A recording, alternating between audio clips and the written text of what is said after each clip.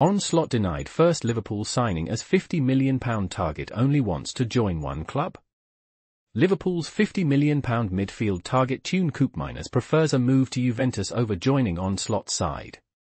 Despite Liverpool's interest and Slot's familiarity with Koopmeiners, the Dutch midfielder has decided to join Juventus.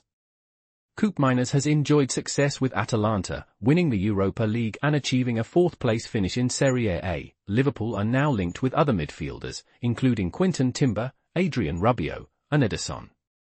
Koopmeiners' decision is a setback for Slot's transfer plans at Liverpool.